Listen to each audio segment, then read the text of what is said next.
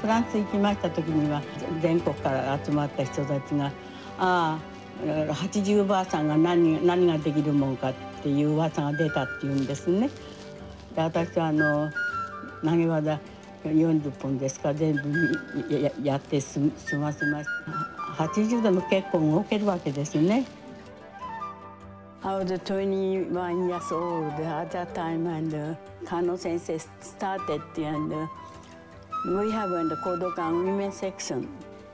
So therefore please come. I heard that uh, I do not nothing give to questions.